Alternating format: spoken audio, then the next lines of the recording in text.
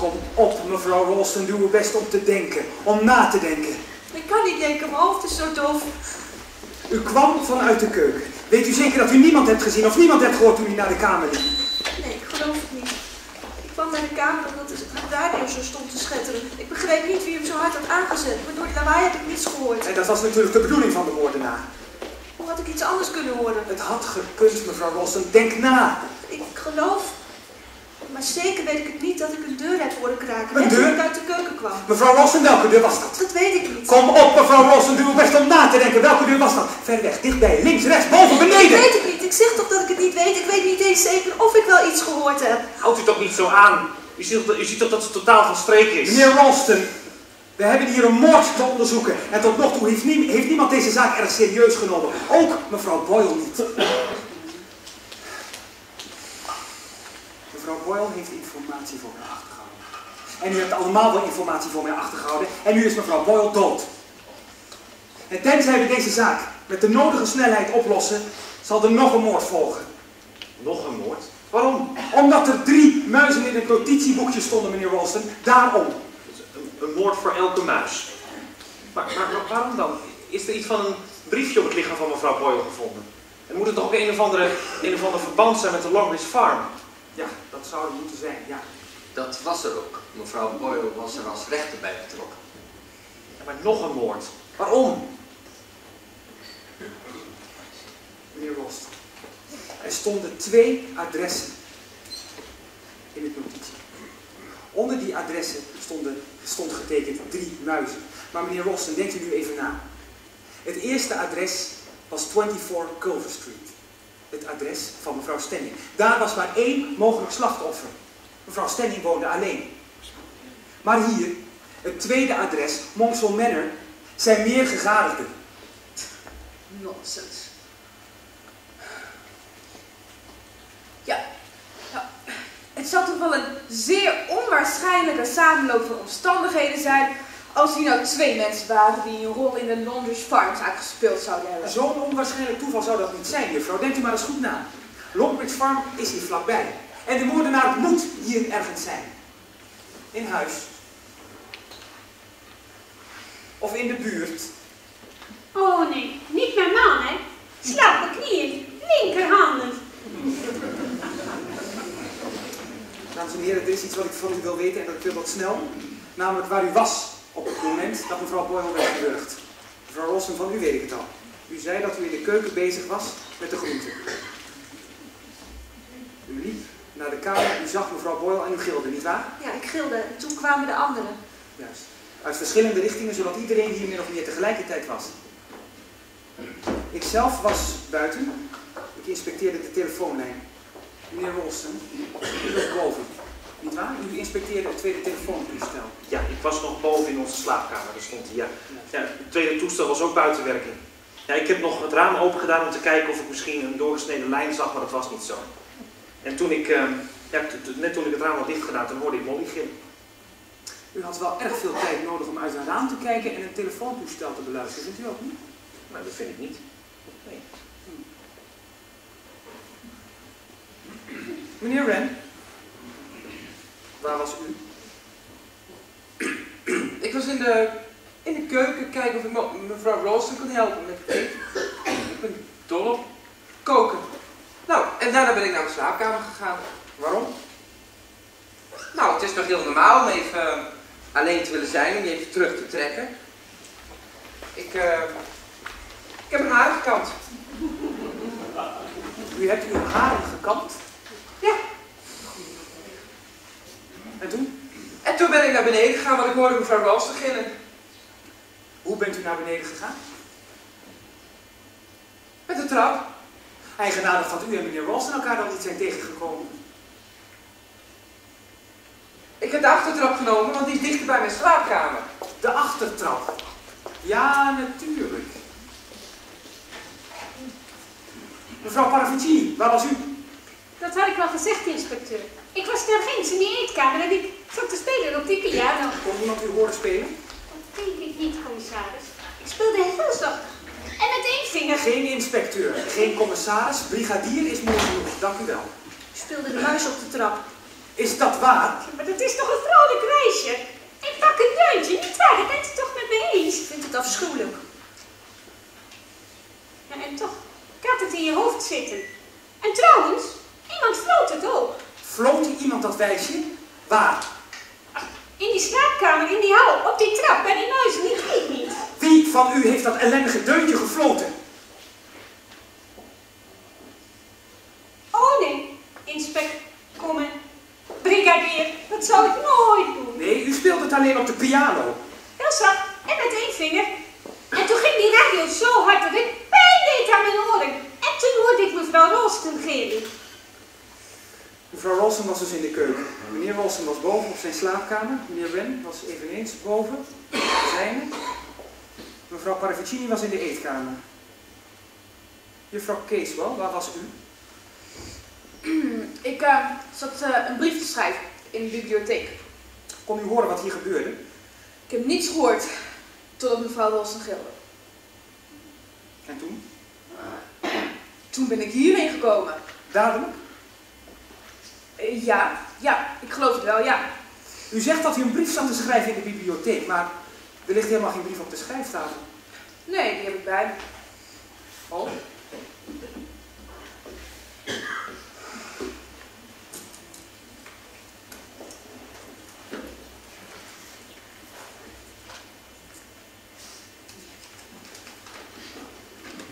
Lieve Jessie, vriendin van uw familie. Dat gaat u geen klap aan. Nee, juffrouw, misschien niet. Maar laat ik u dit zeggen. Als ik iemand moord en brand hoorde gillen, dan zou ik niet de brief waaraan ik bezig was rustig opvouwen, in mijn tasje stoppen en dan op het rumoer afgaan. Oh nee? Wat ehm interessant. Maar Johan, u zei dat u in de kelders was. Waarom? Rond te kijken. Neuzen zou je het kunnen noemen. Ja, ik heb in de kasten onder de trap gekeken. Wat een troep daar zeg. Jongen, jongen. Nou, en eh, toen ik daar was, ontdekte ik een tweede deur. En toen ik die opende, was daar een trap naar beneden. Een onderaardse gewelf van een kloosterkelder, denk ik. Ja, of Manor, nietwaar? Ja, mooi oude gewelf heeft u daar, meneer Alster. Dank u. Wij zijn hier niet bezig met een archeologisch onderzoek, major. We onderzoeken een moord. Mevrouw Rolston heeft verklaard dat ze een deur heeft horen kraken. De deur naar de kelder kraakt. Dan zou het zo kunnen zijn dat de moordenaar, toen hij mevrouw Boyle gewurgd had, mevrouw Rolston hoorde aankomen uit de keuken. In paniek de kast is ingevlucht en zich daarna verscholen heeft in de kelder. Ja, er zijn vele dingen mogelijk.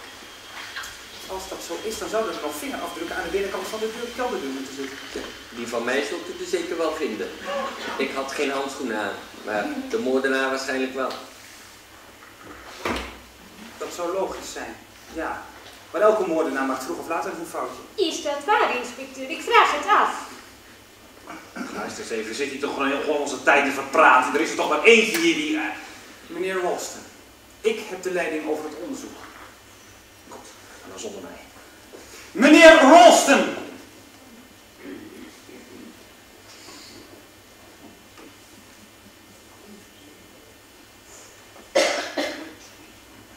Dank u.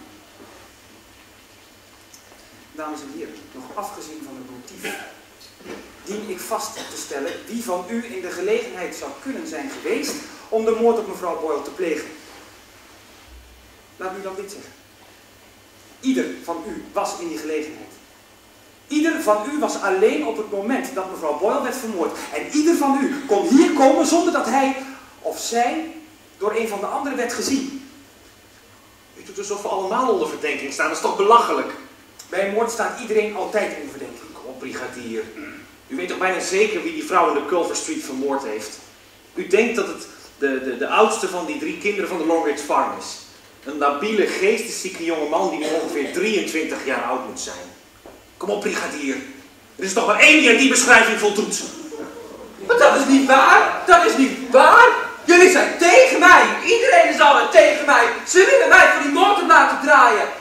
Maar dat is gemeen hoor jullie. Dat is gemeen. Kalm nou maar. Stil maar, Chris. We zijn heus niet allemaal tegen je. Zeg hem dat hij niet bang hoeft te zijn. We laten nooit iemand opdraaien voor een moord die hij niet gepleegd heeft. Zeg hem dat u hem niet gaat arresteren. Ik arresteer niemand, want daarvoor moet ik eerst bewijzen hebben. En die heb ik niet. Nog niet. Je lijkt me niet goed wijs om hem te beschermen. En u ook niet. Er hoort er hier maar één onder verdenking te staan en om ons te beschermen hoort u hem te arresteren. Dan bent u aan de rest van ons verplicht. Charles, wacht toch even.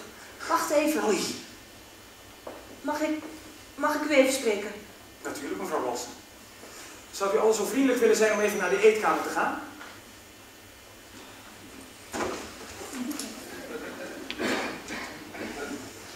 Ik blijf hier. Nee, Charles, jij ook alsjeblieft. Ik blijf hier, wat bezielt jij toch? Toe, Charles.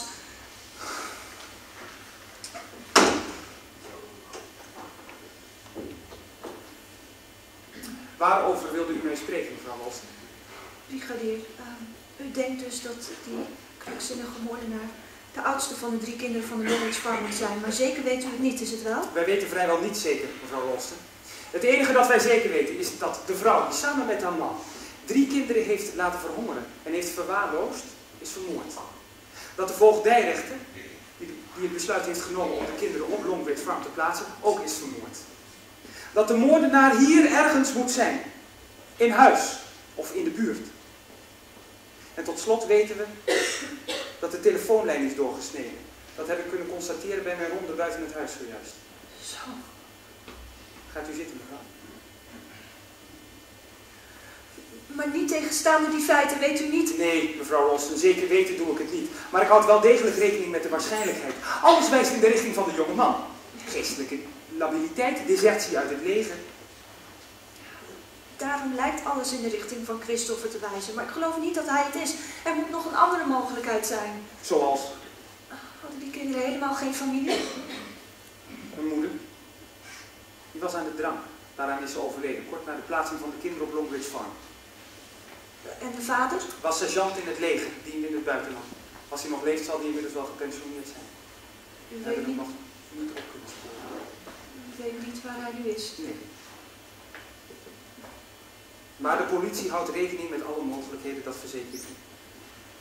Dus u weet niet waar hij nu is. Nee, En als de zoon geestelijk uit evenwicht is, kan de vader dat even goed zijn. dat, dat is mogelijk. hè. Maar als hij nu in het land is teruggekeerd, naar de oorlog en alle ellende die hij misschien heeft meegemaakt. En, en stel dat hij naar huis is teruggegaan en heeft ontdekt dat zijn vrouw dood is. En dat zijn kinderen afschuwelijk slecht behandeld zijn, zo erg dat er zelfs één dood is. Dan zou hem dat wel zo uit evenwicht gebracht kunnen hebben dat hij, dat hij nu zint op wraak. Dat is maar een hypothese. Maar het is mogelijk. Ja, mevrouw Rolsen, het is wel mogelijk, ja. En dan zou de moordenaar van middelbare leeftijd zijn. Toen ik zei dat de politie gebeld had, was major Metcalf helemaal van streek. Echt waar, hij liet van schrik de pook uit zijn handen vallen. Maar jong Metcalf. Van middelbare leeftijd, bij het leger. Op het oog lijkt hij misschien heel aardig en normaal, maar je kunt er soms niks van zien, is het niet? Nee. Nee, je kunt er vaak weinig van zeggen. Dus is Christopher niet de enige verdachte, major Metcalf net zo goed. Juist. En had u nog andere verdachten op het oog? Nou, mevrouw Paravicini schrok ook toen ik zei dat de politie gebeld had. Mevrouw Paravicini. Ja, die meneer Paravicini, die schijnt hier ergens in de buurt rond te lopen. En, maar niemand weet waar. Hij kan makkelijk de telefoondraad doorgesneden hebben. En Mevrouw Paravicini is een beetje overdreven. Onecht. Ze doet zich ouder voor dan ze is. Ze is opgemaakt. Dus kan ze best getrouwd zijn met die oudste zoon. En dat accent, dat kan best nep zijn. Of misschien is het wel echt, maar dan, dan weten we nog niet of die meneer Paravicini wel een buitenlander is. Die man zou eerst eens op moeten sporen. Er is u nogal veel aan gelegen dat het niet meneer Rand is. Maar mevrouw Paravicini kan het ook nog zelf gedaan hebben. Zij speelde dat wijsje. Het zou kunnen. Ja. Maar ik geloof dat langzamerhand alles mogelijk is. Niet waar, mevrouw Ross? Christopher maakt zo'n hopeloze indruk. En hij lijkt me erg ongelukkig te zijn. Ik zal u eens wat zeggen, mevrouw Ross.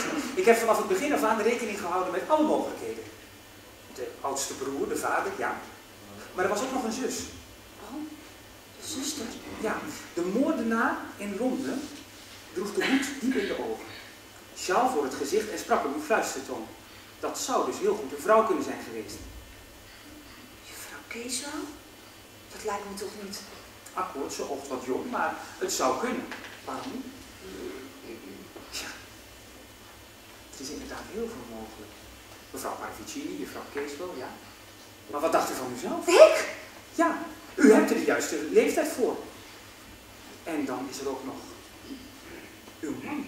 Charles, belachelijk. Hij en Christopher Wren zullen helemaal niet zoveel schelen qua leeftijd. Misschien lijkt Wren wat, wat jonger voor zijn leeftijd, uw man wat ouder. Zoiets is vaak lastig te schatten. Hoe lang kende u Charles Ralston voordat u met hem trouwde? Wat weet u van uw man af? Wat ik van Charles al weet, wat een onzin. U bent nu getrouwd. Hoe lang? Zo wat een jaar.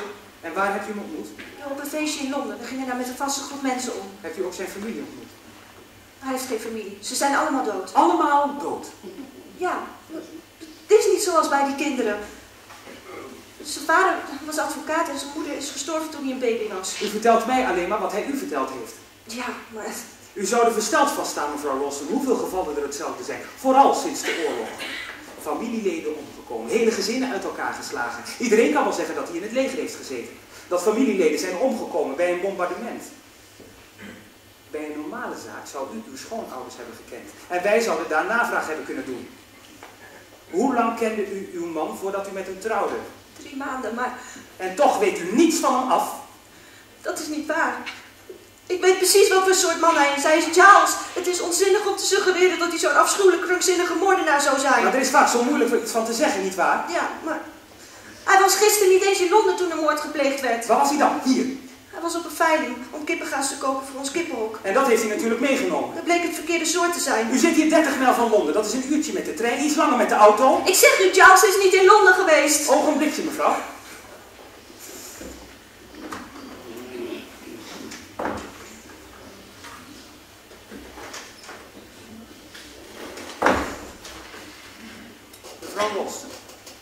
is dit de jas van uw man? Ja, De Evening Standard werd gisteren vanaf half vier op straat verkocht in Londen. ik geloof er niks van. Oh nee, mevrouw Rolston. Werkelijk niet?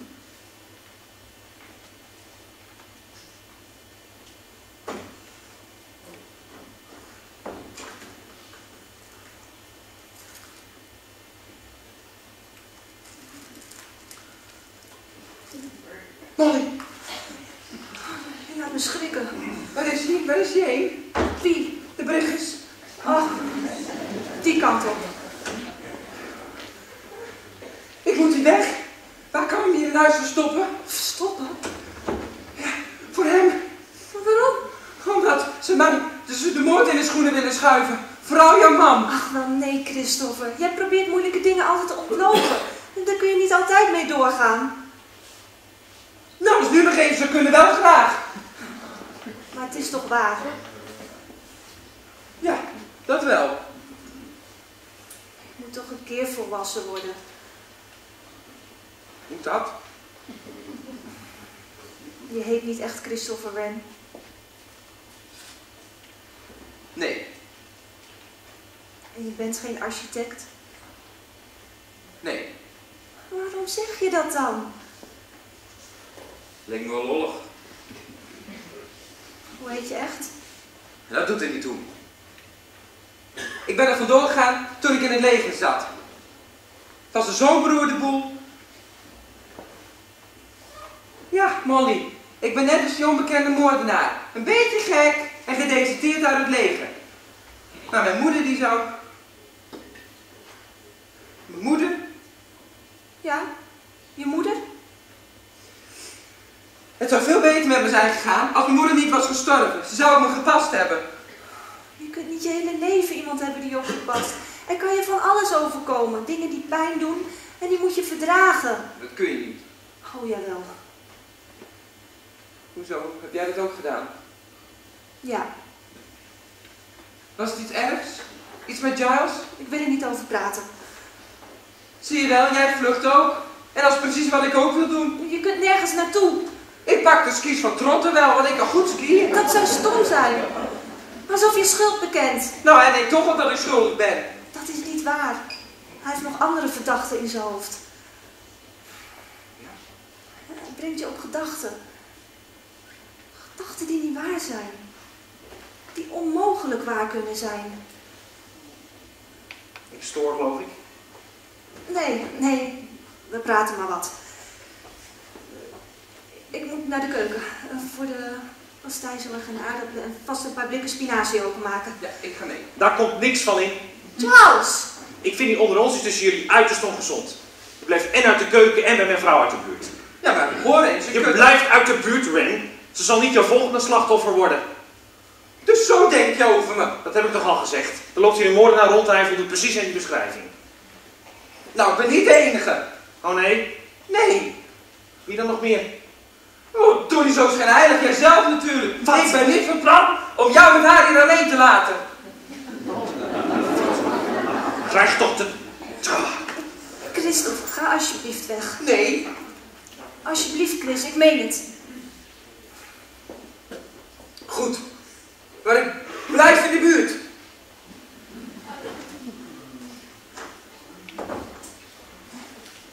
Het lijkt me niet goed wijs, Molly, om alleen met die gek naar de keuken te willen gaan. Hij is niet gek. Ach, vertel, je hoeft toch alleen maar in zijn ogen te kijken. Totaal krankzinnig. Hij is alleen maar ongelukkig, Charles. Maar hij is niet gevaarlijk. En trouwens, ik kan wel op mezelf passen. Ja, dat zei mevrouw Boyle ook. Oh, Charles, zeg dat toch niet? Hoe lang ken je hem al? Charles, ben je gek geworden? Hoe durf je zoiets te denken? Misschien is het wel doorgestoken kaart. En misschien heb je hem wel uitgenodigd om hier te komen.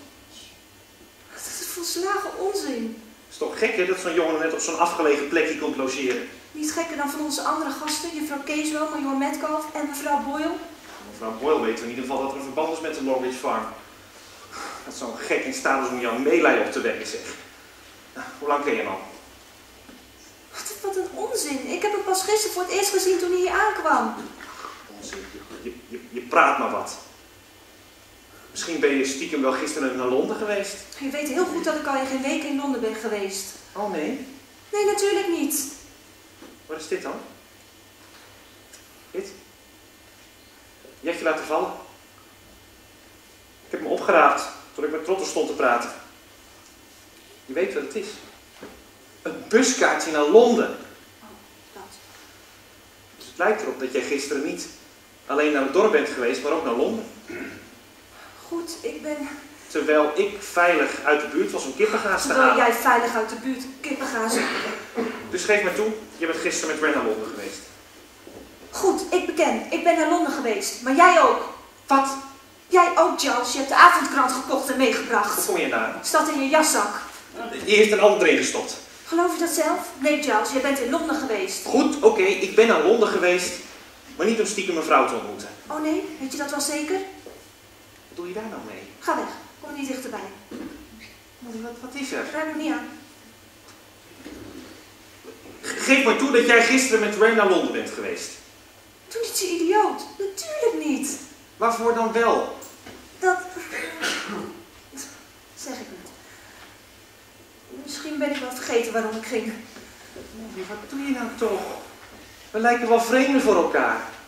Misschien heb je hem ook wel nooit gekend. Hoe lang zijn we nu getrouwd? Een jaar? Feitelijk weet je niets van me af. Wat ik heb gedaan of, of gedacht of gevoeld of geleden voordat je me kende. Molly, je lijkt wel gek. Goed, dan maar gek. Waarom niet? Maar hetzelfde geldt voor jou. Ik ken jou ook nog maar net en ik weet niet wat jij vroeger hebt uitgespookt en waarom jij naar Londen gaat, toevallig net als daar een moord gepleegd wordt. Wat? Molly. Kom, kom, jongelui. Ik hoop niet dat jullie dingen tegen elkaar zeggen waar jullie later spijt van krijgen, hè? Ach, ik weet daar alles van. Dat gebeurt zo gauw in een ruzie tussen geliefden. Geliefd. Dat weet ik zo net nog niet. Ik weet precies hoe u zich voelt, hè? Ja, mijn man en ik. Ach, het is die jeugd, het is die jeugdige overmoed. Mevrouw, nog niet zo lang getrouwd, hè, neem ik aan. Ach, maak er zich geen zorgen. Mannen, hè? Grote ruzies, grote boeketten. Bemoeit u zich met uw eigen zaken, mevrouw Parfitine. Inderdaad, ik kwam eigenlijk zeggen hè, dat die brigadier zijn skis niet kon vinden. Hij was heel, heel boos. Wat? Hij vroeg ze gaf of u ze misschien ergens neergelegd had, meneer Roos. Nee, natuurlijk niet. Meneer Rolsten, Meneer Rosten, hebt u mijn skis weggehaald? Uit de kast onder de trap waar we ze vanochtend hebben opgeruimd. Nee, natuurlijk niet. Iemand heeft ze meegenomen. Hoe weet u dat? Had u ze nodig? De sneeuw ligt er prachtig bij. En ik heb versterking nodig, dus ik wilde naar het bureau in Market Hampton skiën. Om daar een rapport uit te brengen. En dat kan u niet, hè? Iemand probeert te voorkomen dat een rapport uit kunt brengen. Maar er kan ook nog een andere reden voor zijn. Misschien wil iemand er wel vandoor. Waarom riep jij net ineens Christopher? Zomaar. Ah, dus onze jonge architect heeft dit meegenomen. Interessant. Is dat waar, mevrouw? Oh, gelukkig, je bent dus niet weg. Meneer Wem, heeft u mijn skis weggehaald? Uit de kast onder de trap? Dus skis, waarom zou ik, brigadier? Mevrouw Ralston scheen in die veronderstelling. Meneer Wren is dol op skiën. Ik dacht dat hij ze meegenomen had voor een toertocht in de omgeving. Doe toch. Een toertocht. Dames en heren, luistert u goed alstublieft. Dit is een buitengewoon ernstige zaak. Iemand heeft mijn enige mogelijkheid om contact te maken met de buitenwereld weggenomen. Ik wil dat iedereen hier komt, onmiddellijk. Mevrouw Kiswell was volgens mij boven. Ik zal haar gaan roepen. En Major Metcalf, die was net in die eetkamer. Ik ga hem even roepen. Major Metcalf. Hij is er niet meer. Is er niet. Ik zal even kijken.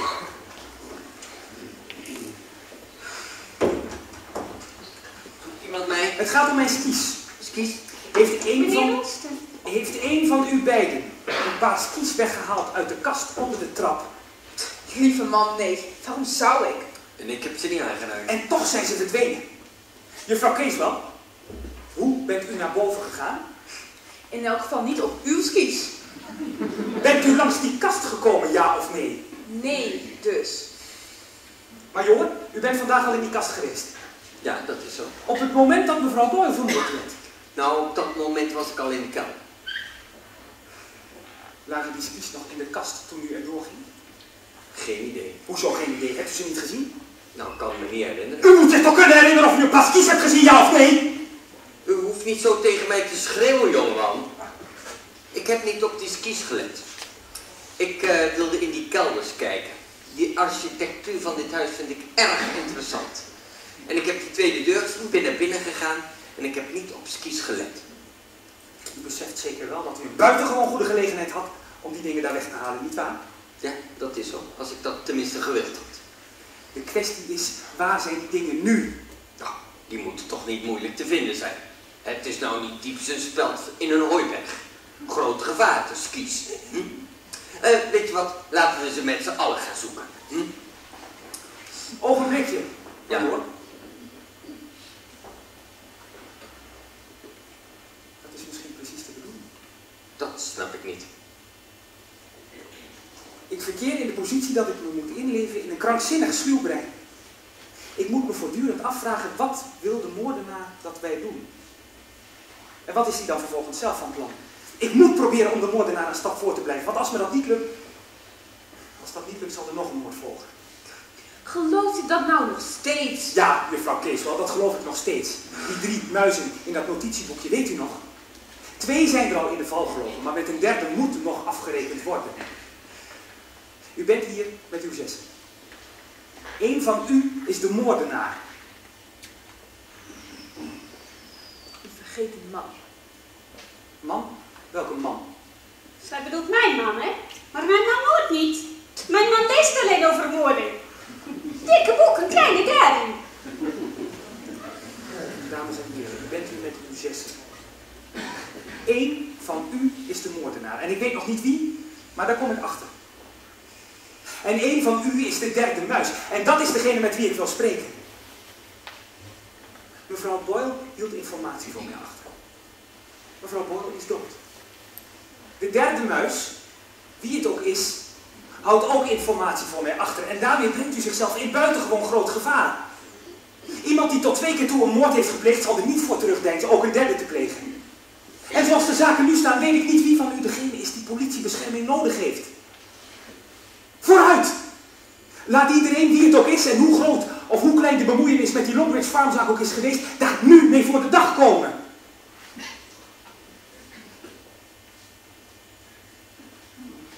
Goed, best. De moordenaar krijg ik te pakken, daar twijfel ik geen moment aan. Maar dan kan het voor één van u te laat zijn. Gaat u maar.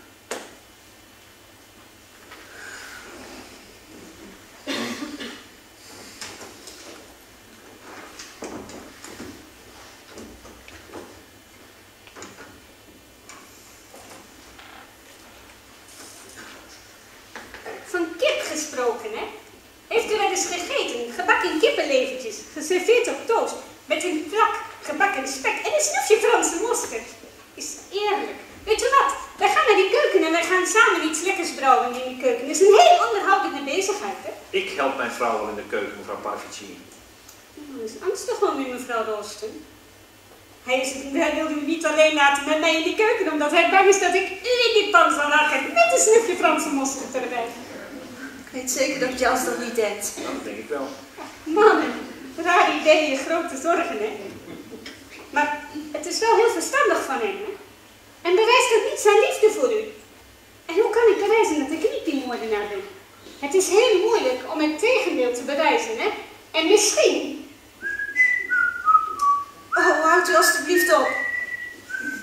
Ga nou eens op om mijn vrouw zo verstreekt te maken.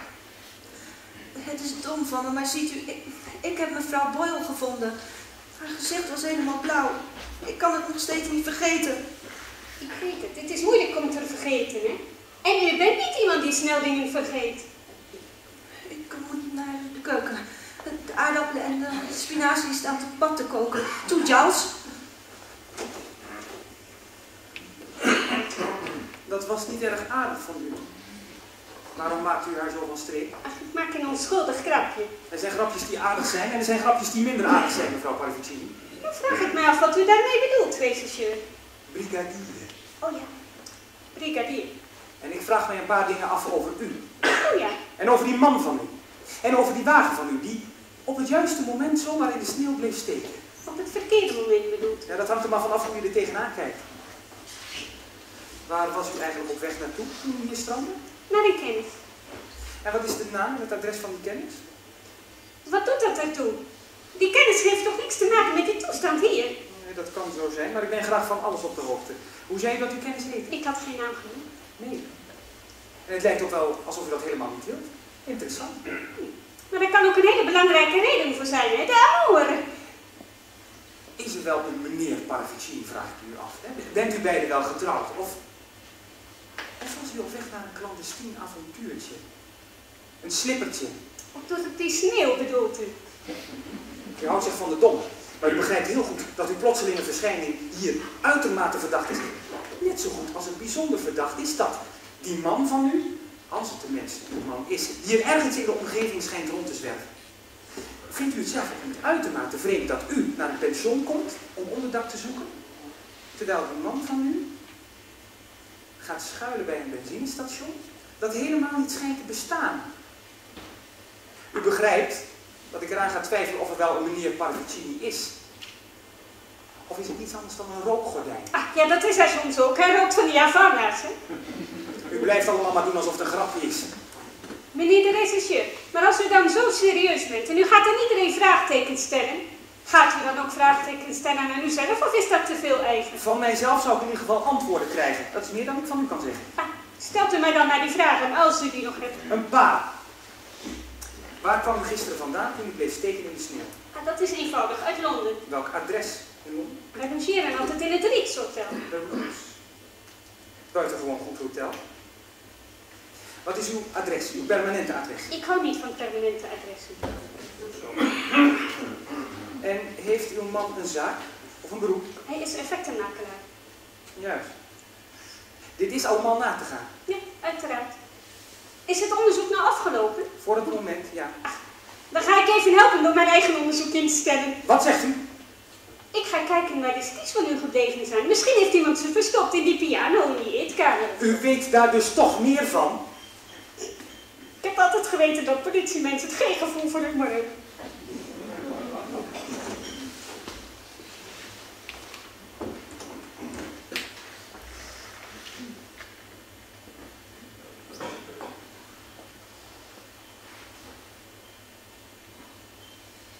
Ogenblikje. Had u tegen mij? Ja, juffrouw. Zou u zo vriendelijk willen zijn om even plaats te nemen?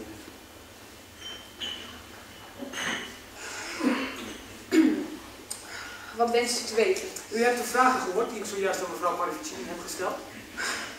Ja, een boeiende schermutseling. Ik zou van u ook graag enkele inlichtingen willen. En die zijn? Allereerst, uw naam voluit. Leslie Margaret Catherine Casewell. Catherine. Met een K.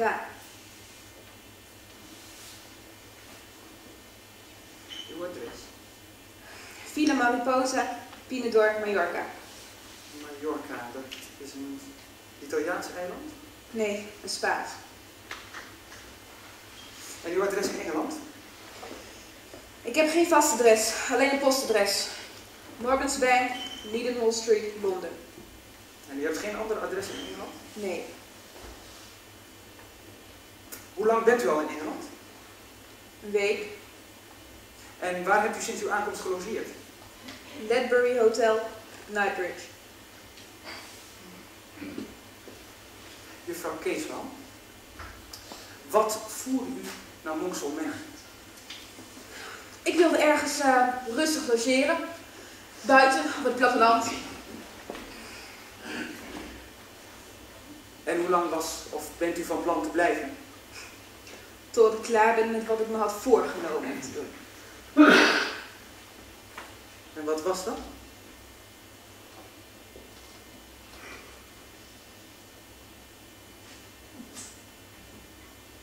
Juffrouw, Hè? ik vroeg wat dat was. Wat was dat wat u Oh, voorgenomen? par- pardon, ik, eh, ik dacht aan iets anders. Ja, dat kan zijn, maar u hebt nog geen antwoord gegeven op mijn vraag. Ik zie ook werkelijk niet in wat dat er nou toe doet. Het is een strikt persoonlijke kwestie die alleen mij aangaat. Dat mogen zo zijn, maar ik zou graag... Daar wil ik niet met u over spreken!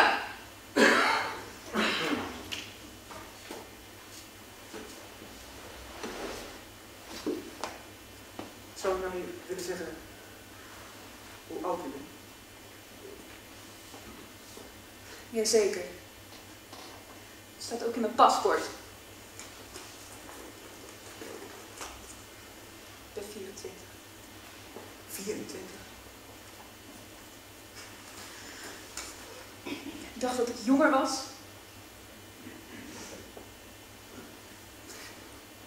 Is er iemand in het land die borg voor u kan staan? Wat mijn financiën betreft, kunt u zich tot de bank wenden. Ik kan u ook doorverwijzen naar mijn notaris. Een zeer discreet man. Verder. Ik heb het grootste gedeelte van mijn leven in het buitenland gewoond. Op Mallorca. Op Mallorca. En op andere plaatsen. Bent u in het buitenland geboren? Nee. Ik heb Engeland verlaten toen ik 13 was. Hier staat dat u geboren bent in Sherwood. Dat is hier niet ver vandaan. Nee.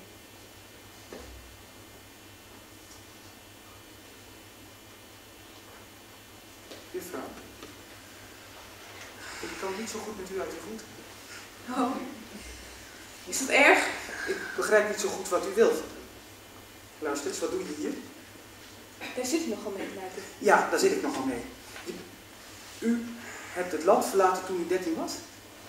Zoiets in elk geval. Was uw naam toen ook al Kees wel? Zeg, waar wil je heen met dit gevraagd? Ik wil weten wat je naam was toen je Engeland verliet. Dat weet ik niet meer. Als zoiets vergeten mensen toch niet? Nee! Door verdriet? Door wanhoop? Daardoor wellicht. Wat is je echte naam? Heb ik al gezegd! Leslie Margaret Catherine Casewell! Catherine. Catherine. Wat doe jij hier? Nee, Wat doe jij hier? ik had die benen niet moeten komen. Ik dacht dat mijn derde graad verhoren lang was afgeschaft. Ik heb juffrouw Kees wel alleen enkele vragen gesteld. Nou, ze zal dus aardig van streek. Wat heeft hij gedaan? Nee, niet, niet. Hij heeft niets gedaan, dus alleen die moorden en de omgeving. Ik... Het is me plotseling allemaal te veel. Ik, ik ga naar mijn kamer.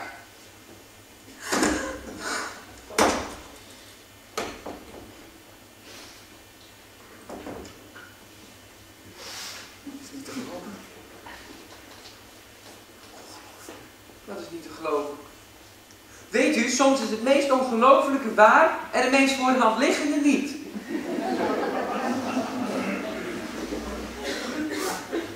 Ja, dat lijkt wel zo. U ziet eruit alsof u een spook hebt gezien. Ik zie precies wat ik al veel eerder had moeten zien. blind geweest. Zo blind als een mol. Ah, dus de politie is iets op het spoor. Ja, meneer Wren, ik denk dat we een stuk verder zijn. De politie is iets op het spoor. Weet u waar de anderen zijn? Uh, Giles en Molly zijn in de keuken. Major Metcalf en ik hebben naar uw skis gezocht op de meest vreemde plaatsen, maar we hebben ze niet kunnen vinden. Uh, Paravicini weet ik niet en juffrouw Kees, nou ja, die liep net. Dus je, je, Haalt u de andere? Dan zoek ik mevrouw Paravicini. Ja, maar dat is niet goed voor de delstaak van de avondmaaltijd. Mevrouw Paravicini. Mevrouw Paravicini. Mevrouw Paravicini. Ja, inspecteur. Is Kies nog steeds kwijt, zie ik. Ach, die komt vanzelf terug. Met die moordenaar erbij, denk ik. Wat is er aan de hand? Major Metcalf. Mevrouw Rolston, wilt u gaan zitten? Hebt u mij hierbij nodig? Het komt wel slecht uit. Ik ben net bezig met de... Er zijn belangrijke zaken in het leven dan de avondmaaltijd, mevrouw Rolston. Mevrouw Boyle bijvoorbeeld zal nooit meer deelnemen aan een maaltijd. Nou, dat is alles behalve tactvol, brigadier. Dat spijt me dan, maar ik heb een ieders medewerking nodig en ik zal hem hebben ook. Meneer Rolston, wilt u juffrouw Kees wel gaan halen? Ze is naar de kamer gegaan volgens mij. Het duurt maar een ogenblikje. Ja. Zijn uw skis al terecht, meneer Trotter? Nee. Al heb ik wel een idee wie ze heeft weggenomen en op welke reden. Maar u begrijpt dat ik daar ook nog geen uitspraak doe. Maar dat moeten we ook nog niet doen, hè? Nee, die uitleg moet pas aan het einde komen. In het, nee, in de laatste hoofdstuk, weet u wel. Dit is geen spelletje, mevrouw Parvicini. Wat staat er te gebeuren? Juffrouw Casewell. Mevrouw Ralston, gaat u zitten. U zult zich ongetwijfeld herinneren dat ik u vlak na de moord op mevrouw Boyle om een verklaring heb gevraagd. Een verklaring over de plaats waar u zich bevond op het moment dat mevrouw Boyle werd vermoord. Ik heb helaas nog niet de tijd gehad om alle verklaringen te verifiëren, maar ze luiden als volgt. Mevrouw Ralston was in de keuken. Meneer Ralston was boven, op de slaapkamer. Meneer Wren was eveneens boven, op zijn slaapkamer. Mevrouw Parvicini was in de eetkamer. Juffrouw Casewell was in de bibliotheek en Major Metcalf in de kelders. Klopt. Nee, dat klopt niet. Vijf van deze verklaringen zijn waar. Eén niet. Maar welke? Vijf van u spreken de waarheid. Eén liegt. Maar wie? Nu heb ik een methode ontwikkeld, waardoor ik kan aantonen wie van u degene is geweest die tegen mij gelogen heeft. En als ik dat weet, weet ik ook wie van u degene is die mevrouw Boyle vermoord heeft. Ja, dat is een verkeerde conclusie. I- iemand kan gelogen hebben om andere redenen. Dat lijkt me sterk, juffrouw. Ja, maar u zegt net dat u nog geen tijd heeft gehad om de verklaringen te onderzoeken. Nee. Maar als iedereen nu eens zijn handelingen zou herhalen.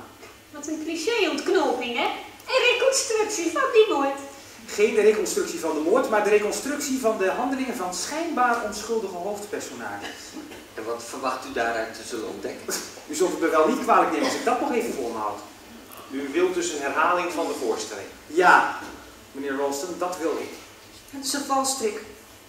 Hoe bedoelt u een valstrik? Het is een valstrik. Ik weet het gewoon. Ik wil alleen dat iedereen zijn handelingen herhaalt. Ja, maar dat snap ik niet. Waarom moet iedereen weer hetzelfde doen? Wilt u alles... Ik vind het een baarlijke nonsens. Oh ja, meneer Wren, vindt u dat baarlijke nonsens? Ik doe in elk geval niet mee. Ik moet naar de keuken. Iedereen moet meedoen. Ik begrijp u niet. Als ik zo rondkijk, dan lijkt het wel alsof iedereen schuldig is. Waarom bent u zo onwillig? Natuurlijk doen we wat u zegt. Jij ook, Molly. Goed. Ren? Juffrouw Casewell? Mevrouw Paravicini? Ah ja, ik stem toe in de reconstructie. Major? Ja. Goed. U wilt dus dat we onze handelingen van daarnet herhalen. Alle handelingen moeten worden herhaald. Ja. Ah, dan ga ik vast beginnen met het tokkenen van die herkenningsmelodie van die moordenaar. Ogenblikje, mevrouw Paravicini. Mevrouw Ralston, speelt u piano? Jazeker. Kunt u de herkenningsmelodie van de moordenaar spelen, de muis op de trap. Die kennen we allemaal. Dan bent u ongetwijfeld in staat om, evenals mevrouw Parvicini eerder deed, die melodie met één vinger op de piano te spelen. Zou u dan zo goed willen zijn om naar de eetkamer te gaan, achter de piano plaats te nemen en te wachten totdat ik u het zijn geef om te beginnen met spelen? Maar moeten wij niet allemaal onze eigen rol spelen dan? Nee. De handelingen moeten worden herhaald, maar niet door dezelfde persoon. Toch wel origineel. Mevrouw. Maar daar, daar snap ik de bedoeling niet van. En toch is er een bedoeling. Het is mijn manier om te controleren wie van u gelogen heeft. Nu, luistert u goed alstublieft, ik ga ieder van u een plaats aanwijzen. Meneer Wren, wilt u naar de keuken gaan? Uh, roert u maar wat in de potten en pannen van mevrouw Ralston. Mevrouw Parravicini, wilt u naar de sla slaapkamer van meneer Wren gaan? Mevrouw Casewell, aan u zou ik willen vragen om naar de kelders te gaan. Major, wilt u naar de slaapkamer van, de slaapkamer van de Ralstons gaan om daar het tweede telefoontoestel te controleren? En meneer Ralston, ik heb helaas ook iemand nodig die mijn handelingen zal herhalen. Wilt u zo goed zijn om naar buiten te gaan en de telefoondraad te controleren, tot ongeveer 50 meter buiten het huis? En wat gaat u doen? Ik speel de rol van mevrouw Boyle. Nogal gevaarlijk, vindt u ook niet? U gaat naar uw posten en u wacht totdat u mij wordt roepen. En dan? Begint u met uw handelingen en daarmee gaat u door totdat er gegild wordt. Heeft u er bezwaar tegen als ik een jas aantrek? Integendeel, meneer Rolson, dat lijkt me zelfs zeer verstandig. Neemt u ook mijn zaklantaarn mee, ligt in de hand.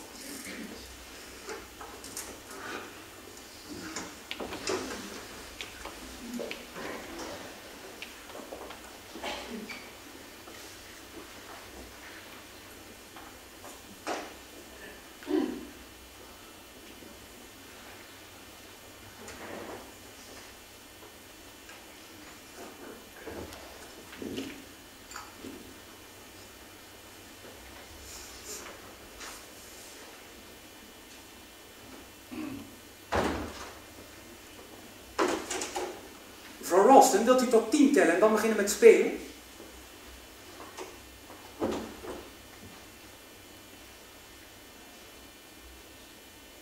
Mevrouw Ralston! Mevrouw Ralston! Ja, wat is er? U trekt een vergenoegd gezicht. Hebt u het zoals u het wilde? Ik heb het precies zoals ik, het- zoals ik het hebben wilde. Weet u wie de moordenaar is? Ja, maar dat weet u wel. Wie dan? Kom, mevrouw Ralston. U bent buitengewoon dom geweest. Ik? U hebt heel veel informatie voor mij achtergehouden en daarom hebt u een grote kans gelopen om vermoord te worden. Ik begrijp niet wat u bedoelt. Ach kom mevrouw Ralston. Hoe dom denkt u dat de politie is? Ik heb altijd beseft dat u meer wist van die Longwest Farmzaak.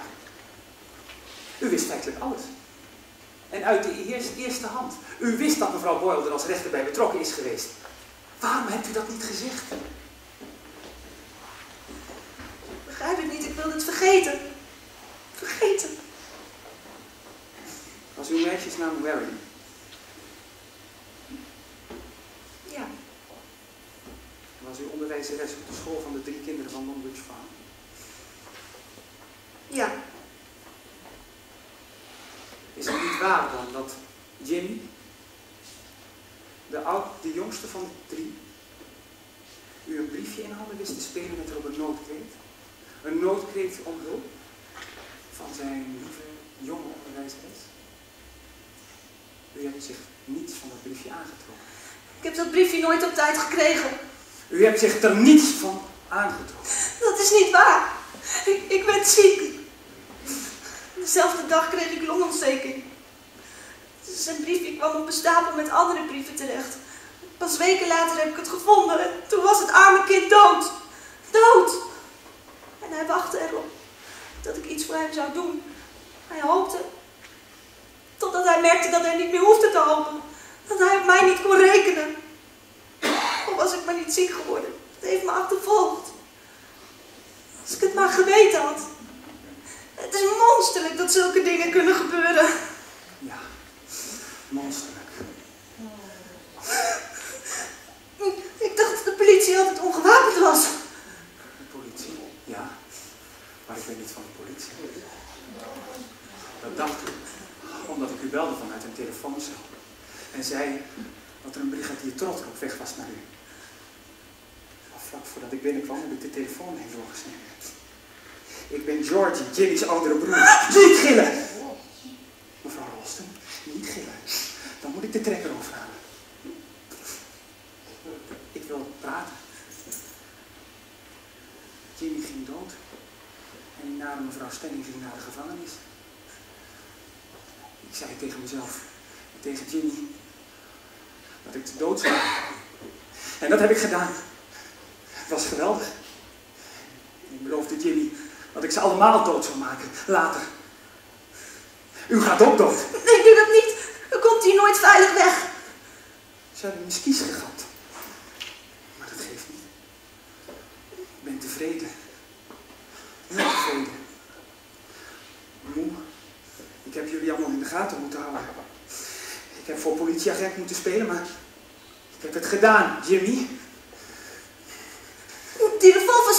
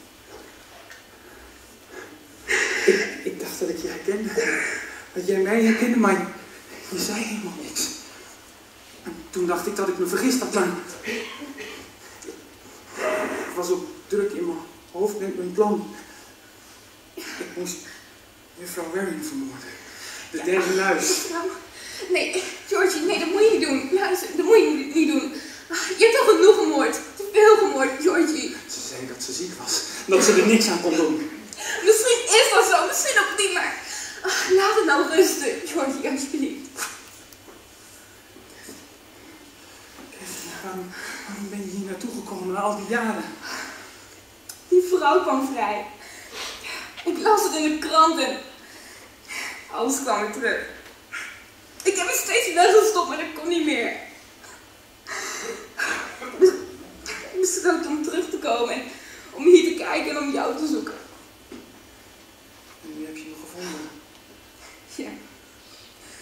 Maar ik kon toch te laat geweest. Ja, Toronto, kom maar mee. We zullen wel goed voor je zorgen. Maar moorden zul je niet meer.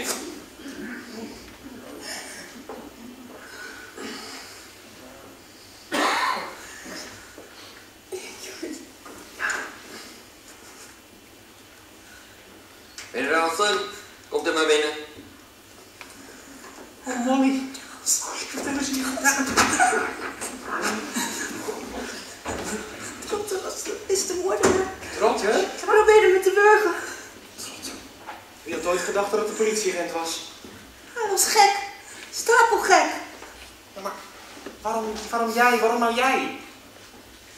Ik was erbij betrokken bij die Longridge farmzaak. Ik was onderwijzeres op de school van die drie kinderen.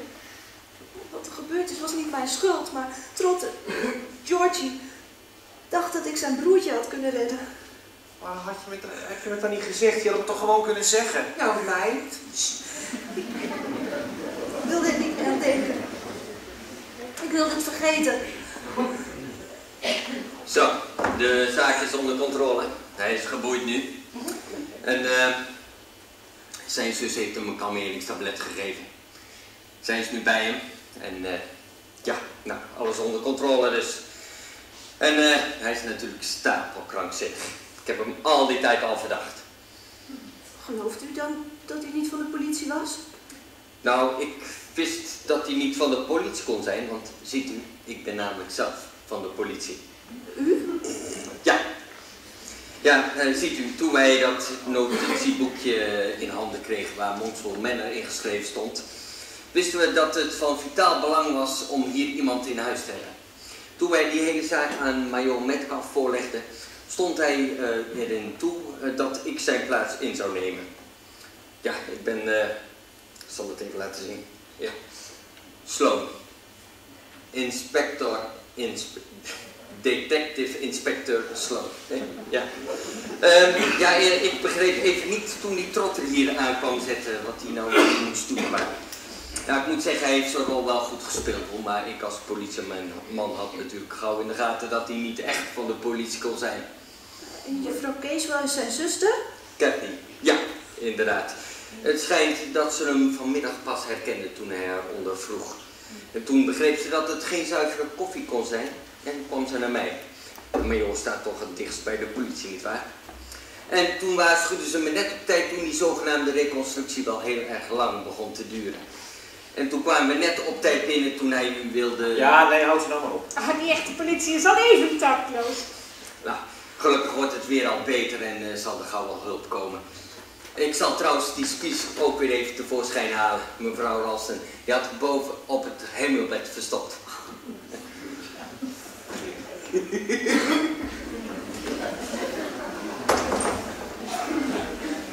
en ik dacht dat het die Parravicini was. Ik? Nee, die man van u. Ach, mijn man. Ach, die zit, die zit vast in een café. Mannen. Grote pen en vage gedachten. Maar als wij dan uitgedooid zijn, hè, nu, dan ga ik gewoon mijn spullen pakken.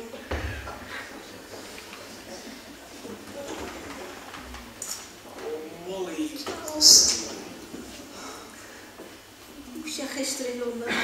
Ik was in Londen om een cadeautje voor je te kopen. We zijn vandaag precies een jaar getrouwd. Filip, ja, dat is ook zo. En waarom was jij dan in Londen? Ook om een cadeautje te kopen. Ik wilde niet dat jij het wist.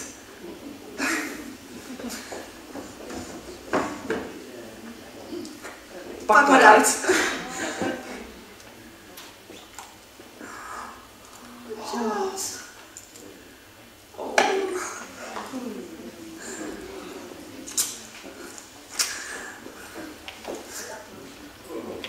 Wat weer, hè?